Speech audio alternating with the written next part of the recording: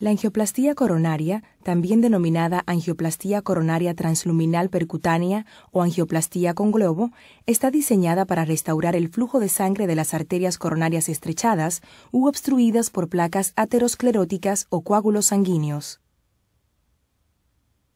Cuando usted llega al hospital, se le colocará una vía intravenosa y un monitor cardíaco, y se le administrará un sedante intravenoso u oral para ayudarlo a relajarse. La mayoría de los procedimientos de angioplastía coronaria duran entre 30 minutos y 3 horas. El médico anestesia la piel en la zona de la ingle e inserta una aguja en la arteria femoral. Una vez que se coloca la aguja, se pasa un conductor a través de ella y se lo guía cuidadosamente por el sistema arterial hasta el corazón. La aguja se retirará y se reemplazará por un tubo flexible pequeño denominado vaina, permitiendo el acceso a la arteria femoral.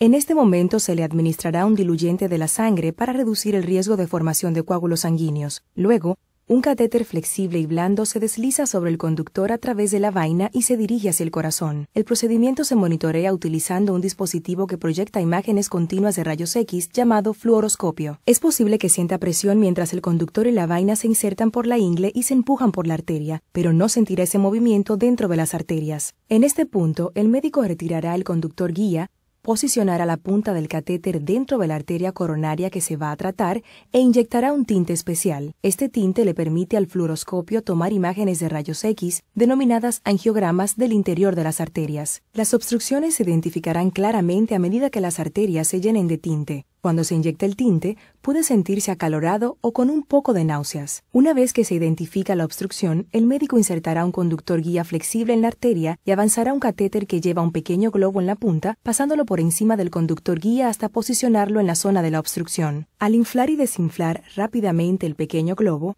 se empuja hacia afuera la pared del vaso sanguíneo, restableciendo el flujo de sangre de la arteria. Es posible que sienta dolor en el pecho mientras esto sucede.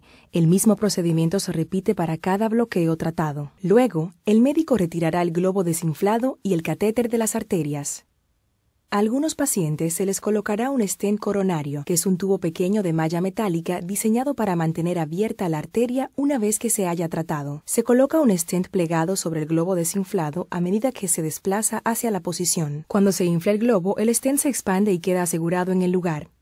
Después de retirar el globo y el catéter, el stent permanece como soporte para mantener abierta la arteria de forma permanente. Después del procedimiento, se le aplicará un vendaje de presión sobre la arteria femoral para evitar una hemorragia. Usted deberá permanecer recostado boca arriba por varias horas, durante las cuales será revisado continuamente en busca de cualquier signo de hemorragia o dolor torácico. Es posible que se le dé de alta el mismo día o después de pasar una noche en el hospital.